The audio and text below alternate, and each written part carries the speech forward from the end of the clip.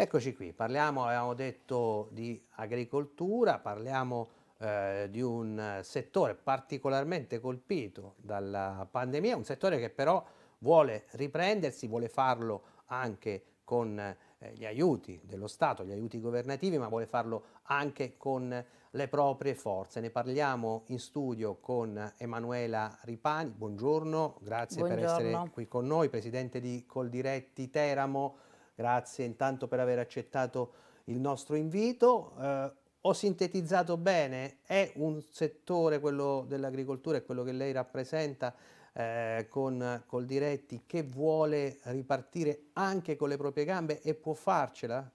Buongiorno, buongiorno a tutti, ringrazio per questo invito e anche la possibilità di, di poter parlare per il nostro settore. E, e sì, eh, il nostro settore è stato duramente colpito come un po' tutta l'economia eh, dal, dal, Covid, ma eh, il segnale che io oggi voglio mandare non è solo per la forza che avremo per la ripresa, perché in realtà il nostro settore non si è fermato, eh, non ha avuto stop, um, grandi stop, mm, sì per alcuni settori sicuramente la ripresa sarà più forte e anche più lunga nei tempi, ma quello che è il settore agroalimentare invece è stato un, um, un settore che ha fatto vedere che noi ci siamo, siamo rimasti, abbiamo garantito anche mh, tutti quei prodotti eh, alimentari sui, sui, prodotti sia dei chilometri zeri che del, della grande distribuzione, quindi con grande difficoltà anche in questo settore, perché? Perché dice, come produciamo, che problema avete? Eh, ma la manodopera? Eh, tutte quelle comunque anche... Mh, eh, aggravanti che, che, abbiamo avuto a livello legislativo eh, le abbiamo avute anche noi.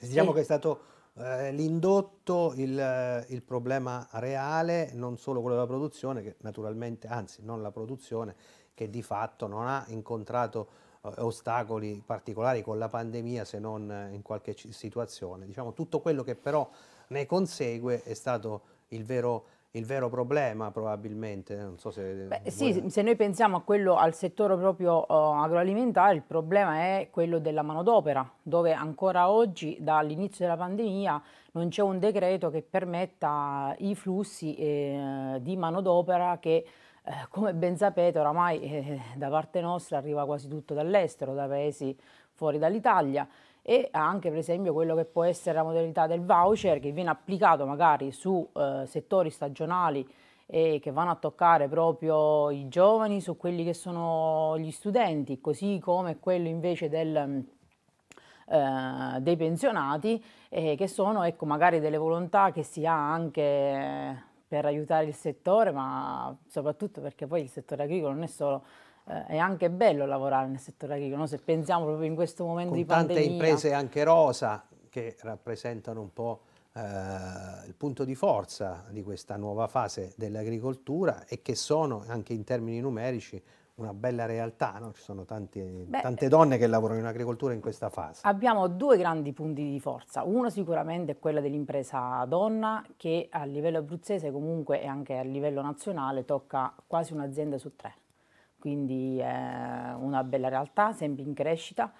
Anche per questo l'agricoltura oggi diventa un settore accattivante sotto l'aspetto no, dell'opportunità, perché se pensiamo che molti lavori l'agricoltura, per fortuna e la pandemia questo oggi ce l'ha dato sempre più in evidenza, non è più statica come ce la ricordiamo, no? perché magari abbiamo un ricordo e comunque una tradizione che va rispettata, che è anche quella no, della fatica, e, ma ehm, la fatica c'è ancora, ma c'è questa possibilità anche in settori più economici come quello dell'agriturismo, eh, dinamici, no? come quello della commercializzazione dei prodotti aziendali, eh, anche nel settore vino eh, molte belle esperienze di donne di successo no? sono eh, donne e quindi l'opportunità che oggi l'agricoltura rappresenta e ehm, non solo più come un settore marginale, lontano, di fatica, ma anche no, di, dinamico e quindi la donna può avere un bel ruolo. Un'evoluzione senz'altro incoraggiante che però va eh, sostenuta in questa fase perché abbiamo detto in apertura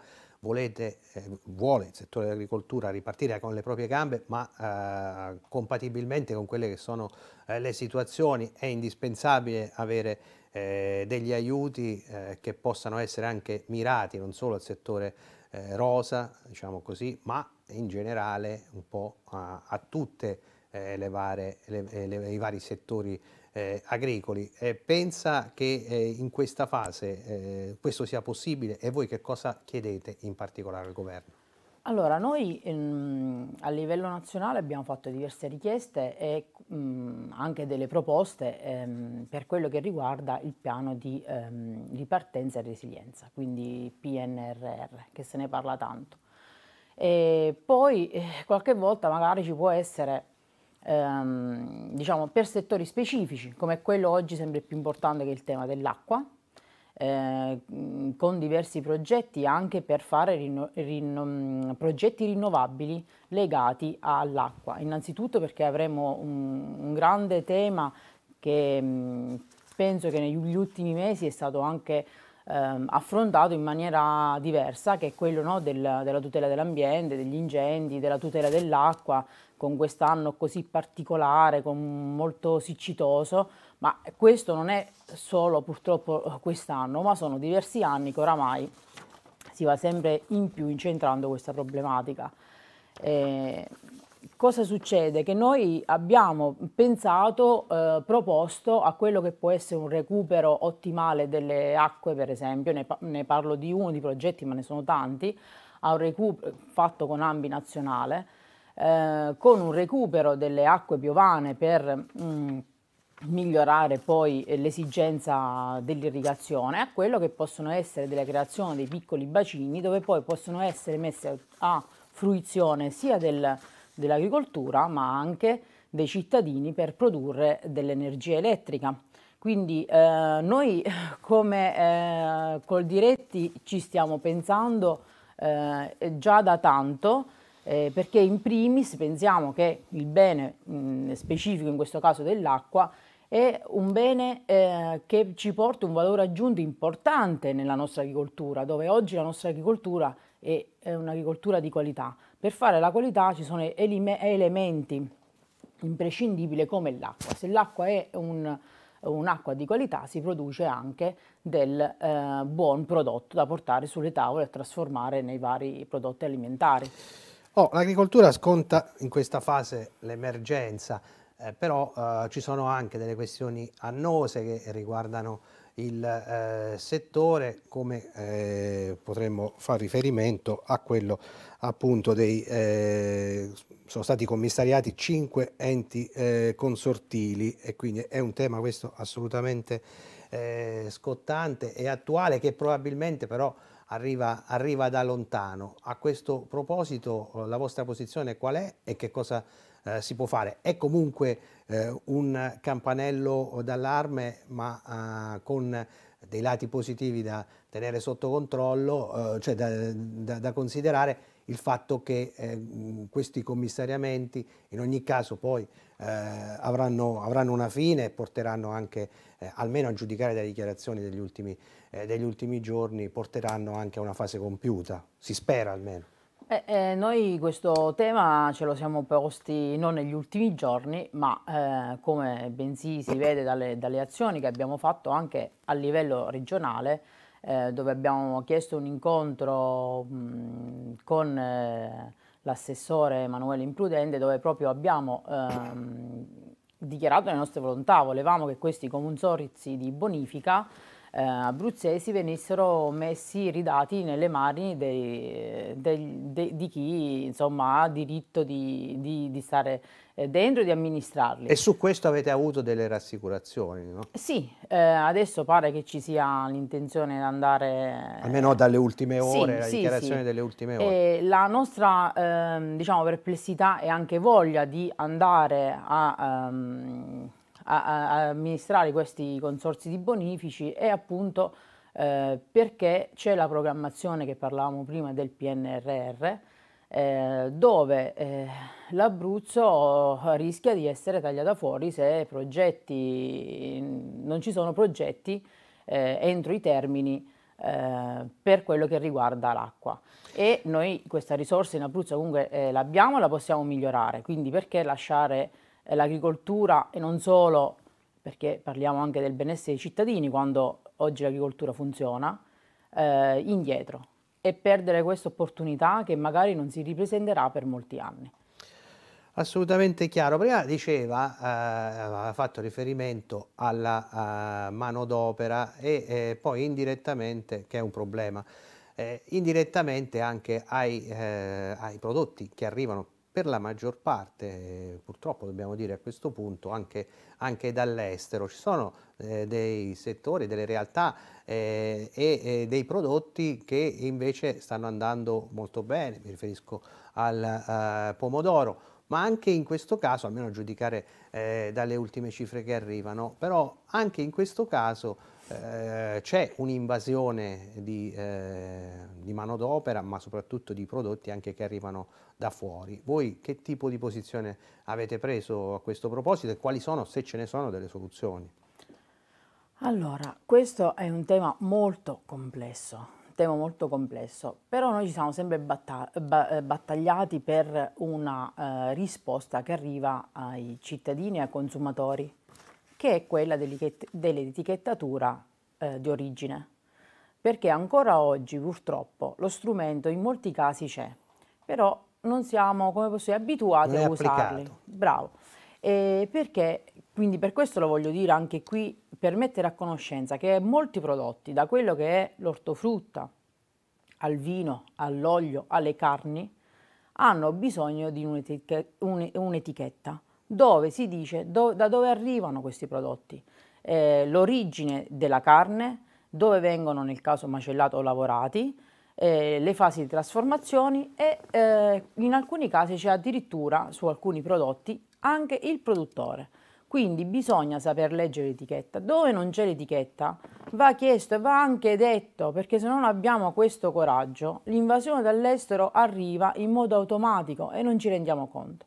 Allora molte volte si dice, vabbè, ma perché l'estero comunque l'Europa? Benissimo, però ricordate che a oggi, io mh, mm, sono un tipo che mi piace molto parlare di noi, L'Italia è fa uno bene. In dei... questo caso fa bene perché di questo stiamo parlando. No, ma eh, perché sai, eh, di casa mia, tra virgolette, no? E noi in Italia siamo uno dei produttori che usa più fitofa- meno, meno, meno fitofarmaci sui prodotti eh, di, eh, agroalimentari, così come meno antibiotici sulle carni. Queste cose vanno dette. Molte volte invece preferiamo parlare degli altri e non diciamo le nostre cose. E allora io l'accontento ulteriormente e eh, accontento, spero anche i nostri telespettatori che stanno seguendo uh, questo spazio dedicato all'agricoltura, uh, parlando addirittura, per parlare di noi, di chilometro zero. Il chilometro zero in questa fase, con l'agricoltura a chilometro zero, che tipo di prospettive ha e può essere il punto di forza del settore oppure ci sono anche qui delle criticità? Allora, il chilometro zero eh, negli ultimi anni è cresciuto tantissimo, eh, sicuramente c'è anche la legge sulla multifunzionalità che ha permesso questo, quindi permette al eh, produttore di mh, vendere il proprio prodotto trasformato o direttamente. Eh, sembra una banalità, però eh, questo accresce anche perché non dobbiamo dimenticare che l'impresa è anche eh, economica e quindi un margine eh, di eh, redditività su alcuni prodotti che magari arrivano, come diciamo prima, dalla grande concorrenza estera e dove noi magari abbiamo delle difficoltà a, a piazzarci nel mercato. Però un, voglio ricordare anche un passaggio che questa è la grande opportunità che i consumatori devono cogliere e noi come eh, agricoltori dobbiamo essere consapevoli. Eh, che ci sono diverse fasi, sicuramente la prima fase, la prima fase primaria è appunto quella del coltivare, dell'allevare, ehm, quindi non solo il trasformare, quindi il chilometro zero può essere una doppia opportunità, quella del produttore che ha la forza di mettersi in rete o in proprio e fare la vendita diretta a chilometro zero, sicuramente il ehm, ci si guadagna a livello di ambienti, di costi di trasporto. Oh, è, è, un, diciamo, è un, uno strumento positivo se viene usato bene, sia per il consumatore che per chi produce e poi anche nella fase complessiva totale perché ci risparmiamo anche l'ambiente, ci curiamo l'ambiente, che se pensiamo che alcuni prodotti attraversano addirittura l'oceano con l'aereo o con la nave, quindi avere un prodotto che arriva da qualche eh, chilometro o a qualche centinaio di metri da dove abitiamo, sicuramente abbiamo anche dei vantaggi ambientali. Dall'altra parte il chilometro zero viene anche ad aumentare quella filiera dove chi non ha la forza per capacità, per volontà, per tipo di prodotto che si, si produce in azienda, eh, di avere un riscontro positivo, quindi c'è anche chi fa un prodotto iniziale e quello comunque va messo in commercializzazione, quindi se un settore comunque chilometro zero cresce in automatico, cresce anche la richiesta per chi nel caso produce soltanto e non è affacciato alla vendita e può essere un'opportunità. Eh, io ho, ci tengo nell'aspetto, come dicevo prima, di far passare il messaggio che abbiamo eh, dei prodotti ehm, che vengono Ehm, prodotti proprio con degli strumenti fitofarmaci, an- gli antibiotici a basso impatto e, e, abbiamo anche una grande forza in questo territorio che è anche quello degli allevamenti, che gli allevamenti sono ancora in qualche modo ehm, ehm, fanno ancora la piccola transumanza, c'è la cultura di un allevamento all'aperto eh, con tanti benefici eh, per chi eh, può poi ehm, o vuole insomma, eh, acquistare questi prodotti di allevamento e non solo eh, la parte mm, del, del, latte, ma come la filiera del latte, dell'olio, cioè tutte le filiere da noi hanno un buon processo, un buon processo di ehm, produttività. Oh, in attesa di COP26 di Glasgow, sicuramente quello dei, del clima pazzo è un problema in più con il quale eh, l'agricoltura non solo abruzzese del centro Italia ma eh, nazionale e mondiale deve confrontarsi. Eh, da questo punto di vista mh, quali sono eh, le innovazioni, quali sono i sistemi che permettono di eh, sopravvivere a un settore che deve fare i conti con un nemico in più, se, se realmente c'è. Io infatti prima ho voluto parlare proprio di acqua, no? Eh, perché sul nostro territorio mm, l'acqua è molto sentita. Io quando parlo con i giovani vedo che hanno un'accortezza, una preoccupazione per quella che è l'acqua, no? e in realtà con l'innalzamento delle temperature eh, e andiamo sempre più su un, un clima che è molto più caldo, quindi con conseguenze anche di siccità, di aridità del terreno, meno produttività, perché anche quest'anno magari sulle vigne Adesso non abbiamo ancora i dati perché la vendemmia ancora sapete che non è terminata, eh, però probabilmente ci sarà un buon prodotto, eh, magari però le quantità si riducono. Comunque abbiamo da affrontare poi magari i costi di produzione, quindi il, eh, ehm, ci sono dei parametri no? dove sì è vero che c'è una buonissima qualità in tutte le cose, però ci deve essere anche una giusta redditività. La vendemmia non è ancora terminata, per quanto riguarda invece l'ulivo, in questa stagione che tipo di eh, di olio ci sarà e che tipo di, di raccolta si prevede? Pare che anche l'ulivo quest'anno abbia una buona produttività con uh, qualche percentuale in più rispetto agli altri anni e, um, e, quindi vediamo perché poi la campagna finché non, non finisce quella appena iniziata e mi volevo riagganciare alla domanda che mi aveva fatto sì. prima per terminare su un settore che secondo me è molto importante perché prima abbiamo parlato di donne, no? Sì. E quindi l'accortezza sul clima secondo me oggi lo danno anche le imprese giovanili, che ne sono tante e eh, addirittura nel nostro eh, comparto, quello agricolo, con la pandemia è l'unico settore dove eh, ha resistito e gli giovani, che sembra una cosa paradossale, invece i giovani under 35 sono cresciuti dell'8%. E tu dici cosa c'entra con... Un'evoluzione quasi così, eh, imprevedibile che però potrebbe avere un suo, un suo, perché.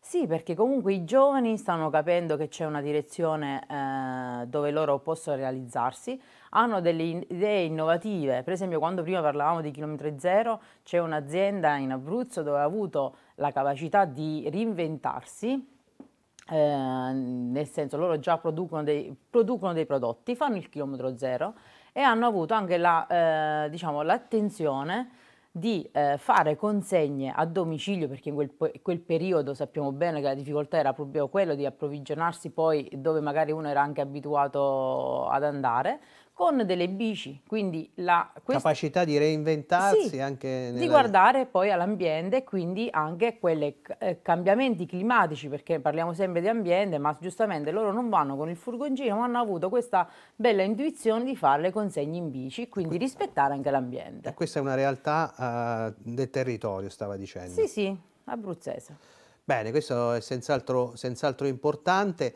eh, e così come è importante, dicevamo prima, il eh, riferimento anche a quelle che sono le vostre attività come Coldiretti. Eh, domenica 26 settembre avete, fatto, avete organizzato la Santa Messa nella cattedrale ehm, per quel che riguarda la benedizione eh, dei trattori con il vescovo eh, Leuzzi. Che clima eh, c'è stato? Che, che voglia c'è di eh, ripartire in questa fase? Veramente devo dire che, ehm, sai, quando si fa una cosa dopo eh, anche un evento come questo, che col Covid l'anno prima l'avevamo sospeso, eh, sapete bene tutti i motivi, eh, l'abbiamo ripreso, c'è sempre no, un, come un punto interrogativo. Poi invece abbiamo capito che la nostra scelta, anche se magari eh, fatta ehm, eh, in maniera anche ridotta rispetto a quello che erano negli anni passati, perché il Covid eh, c'è.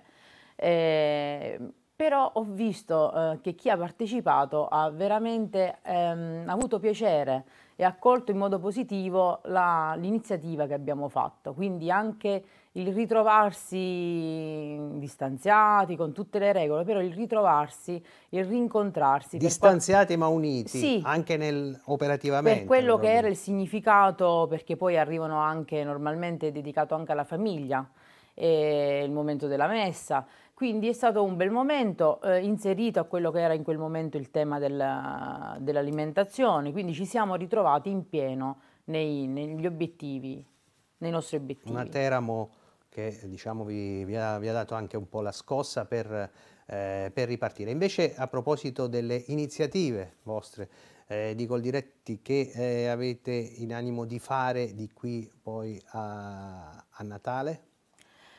Eh, adesso ci saranno sicuramente quelle che sono le, come dicevi prima, le, le attenzioni a, ai vari raccolti, seguiremo queste attenzioni, tematiche forti saranno sicuramente quelle legate all'ambiente, al, a quello che potremo ai consorsi di bonifica, perché vabbè, lì sarà magari dopo, eh, dopo il periodo natalizio, ma l'attenzione comunque adesso già ci deve essere, dobbiamo cominciare a eh, verificare quello che ancora eh, si, si, può fare, si può dare come opportunità al nostro territorio abruzzese. E, mh, mm, la vendita diretta sarà un altro degli obiettivi che non lasceremo cadere. Nei vostri punti, nelle varie città, non solo abruzzesi naturalmente. Sì, sì, sì, adesso ci saranno diverse attività.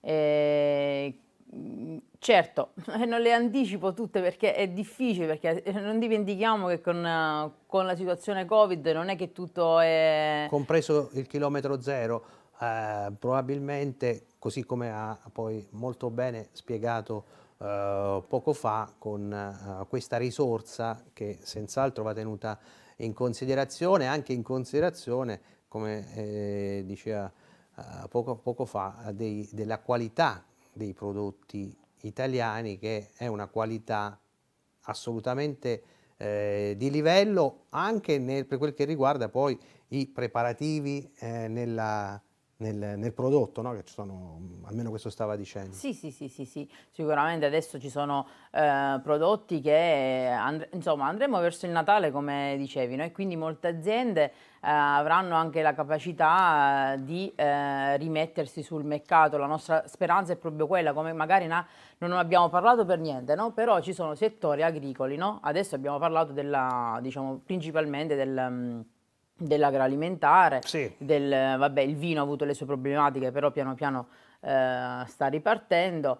Eh, per esempio un altro import importante settore che eh, è stato toccato dalla pandemia è stato quello del florovivaismo eh, che ehm, magari ecco Natale ne potrà... ha risentito. Sì, Però... tantissimo, tantissimo. Quindi aspetta il Natale con ansia per, per questi Probabilmente è uno di quei settori che, eh, anche perché ha molta stagionalità, no? Oh, non abbiamo parlato a proposito delle varie branche che il settore agricolo presenta, anche quello eh, dei, della, della, chiamiamola eh, dei bed and breakfast, ma che sono in questo momento anche una percentuale alta e probabilmente anche tra le più toccate eh, dal Covid. E, e, a questo proposito eh, gli aiuti eh, tanto decantati e eh, molti, in molti casi anche arrivati, che tipo di aiuti sono stati e che tipo oh, di aiuti si aspettano le aziende del settore?